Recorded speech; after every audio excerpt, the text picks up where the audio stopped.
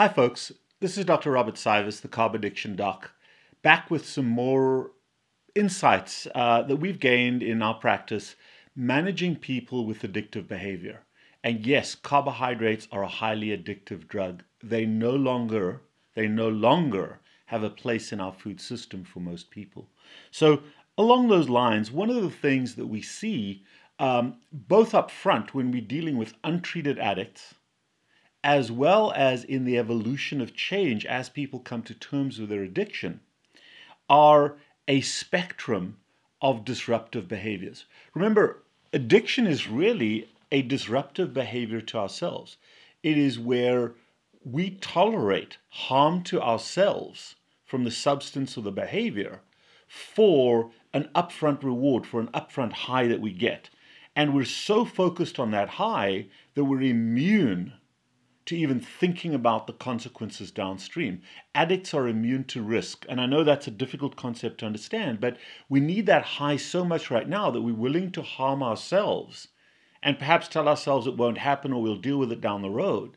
You know, when you roll up your sleeve and put a tourniquet on your arm and heat up some powder in a spoon and inject heroin into your veins, you're not thinking about turning blue and dying.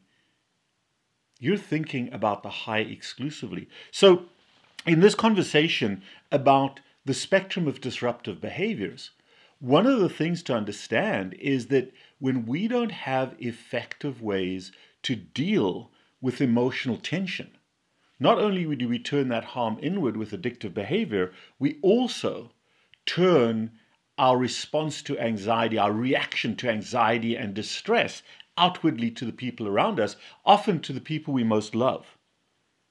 And one of the things that I look for in the people that I talk to up front, and, and they're usually very well behaved when they first come in, uh, there's a degree of assumed respect, but we reveal certain behavior patterns. And I look for certain streams that are inherent to addictive behavior, and that is either pure aggression, which is where you've got this facade and you just want people to bounce off it, a very aggressive uh, um, facade, and especially once people's guards are down, that aggression re- reveals themselves. And how do we see uh, aggression? Controlled anger. Little angry outbursts, and you catch yourself and and have a little bit of remorse and you pull it back. But angry outbursts, and sometimes they can be very subtle. We're very smart at camouflaging our aggressive behavior, but angry outbursts, profane, disrespectful language when you use derogatory language about somebody, whether in the current climate it's racism or whatever that may be, but it's little subtle or sometimes not so subtle daggers, darts that we throw at people, profane and disrespectful language, where there's an absence of empathy for who the other person might be at all. Certainly, stomping your feet, throwing things, you can see what my hand is doing. That's aggression throwing things, yelling, screaming, stomping your feet, slamming doors, kicking the cat. Those are all forms of obvious aggression. But so is demeaning behavior. When you demean people, especially people you love the most, that is you not being able to handle your own emotional tension. You're not able to handle your own anxiety and stress and frustration and anger and fear and sadness and boredom and pleasure. And you demean other people. It is not socially acceptable anymore. It used to be. It used to be, but it's no longer socially acceptable. And obviously, physical aggression. One of the things we're seeing now with the COVID lockdown is more and more spousal abuse, where someone can't contain their anger. And it's not always husband against wife, it's often as well wife against husband or wife against kids or against animals in the house. But physical aggression, where you can't help yourself but be abusive. And here's something that's interesting. Under the caption of aggressive behavior are sexual comments, sexual harassment, and sexual aggression. In other words, you're not aware of how the other person feels. You may say something, and you might think, ha ha, it's funny, you've got to have a thick skin. But ultimately, what you don't do is recognize how that may harm somebody else. Now, everybody sometimes makes little mistakes where they hurt somebody and it's an interplay. But when it's a pattern, when it takes on a continuous form of thought and a continuous execution on that thought, then you're using sexual comments, sexual harassment, and sexual behavior in an aggressive way, not a sexual way. Sex is critically important and sexual contact is critically important to the preservation of the species. But when it is used in a controlling or aggressive way, that becomes a concern. Then it is no longer about procreation, it's about aggression. And that includes racial and ethnical jokes. Now, our society has become less and less tolerant of those, so we keep them inside. But it's still a form of aggression. And aggressive behavior ultimately, and this is what, what folks don't understand out there as we deal with uh, uh, racial tension and everything else, is that that is a form of tolerable and now intolerable aggression. That is a form of dysfunctional emotional management that ultimately comes from how we were raised. And not raised to be racist or raised to be sexual harassers, but raised without effective emotion coping skills. Without ways to step back and respond to our own emotions rather than step into the emotion and react. So aggression takes a variety of different forms. And and can society go over the top with this? Of course it can. There is a role for aggressive behavior from time to time, but never as a pattern, as a way of life. That's a problem. That is a problem. Now, on the flip side of that, I see people who are passive. I see people who are mushy, who cannot generate a response to anything.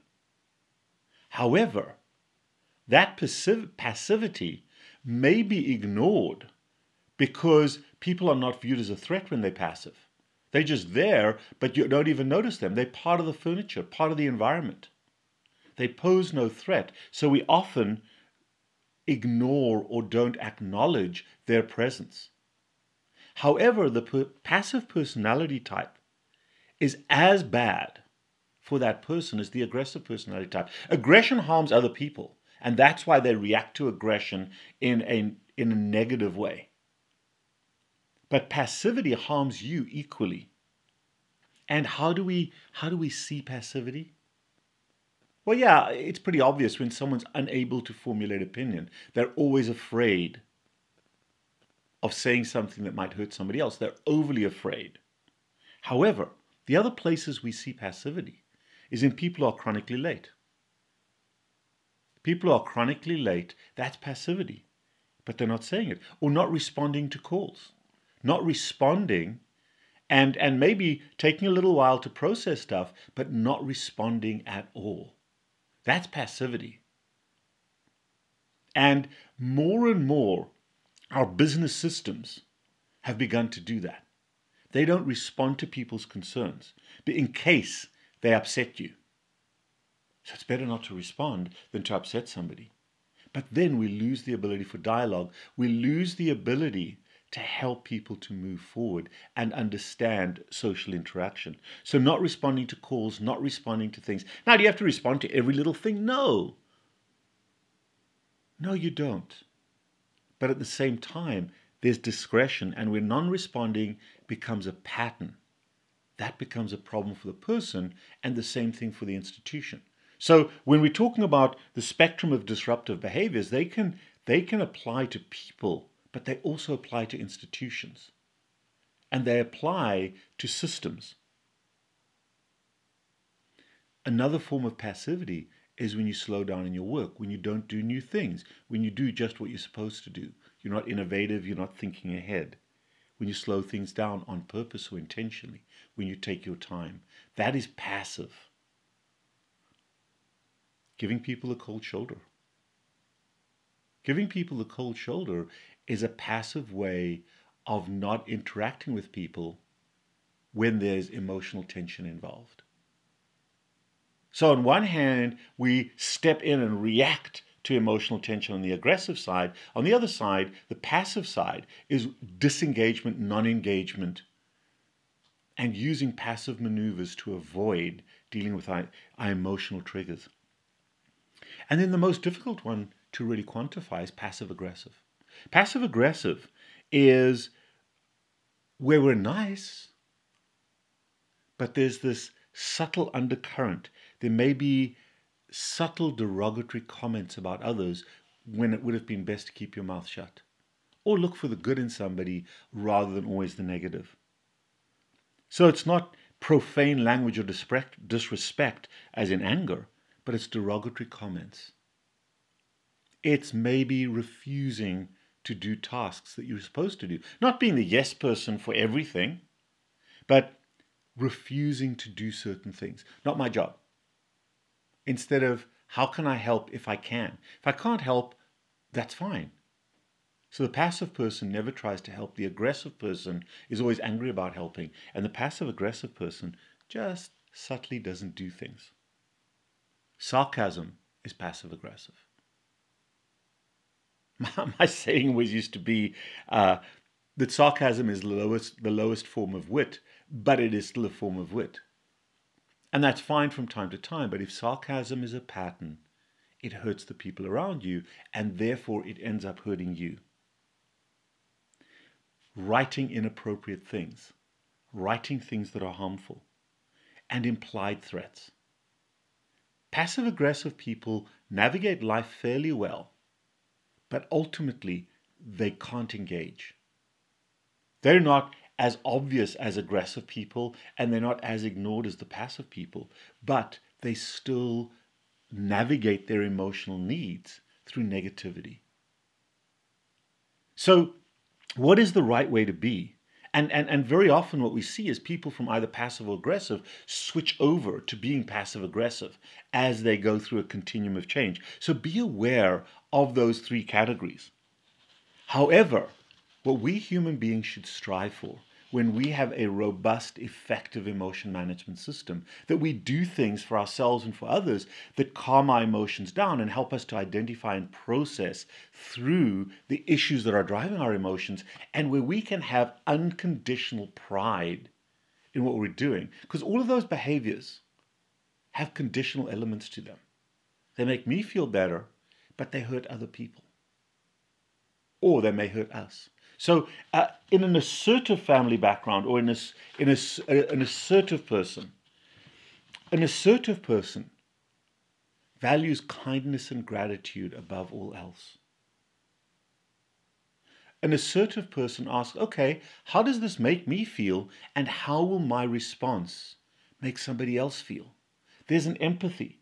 There's, there's a way to step back, figure out how you feel, understand what made you feel that way, and then respond in a way that you are not reacting to your feelings, that immediate evisceration or withdrawal or sarcastic behavior, but instead you are sweeping aside the emotion and figuring out what the real issue is.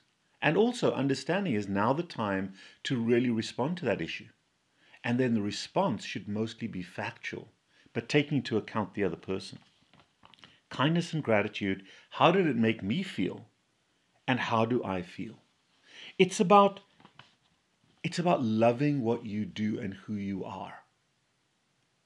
Rather than loving what you achieve through your behavior. And being assertive is unconditional.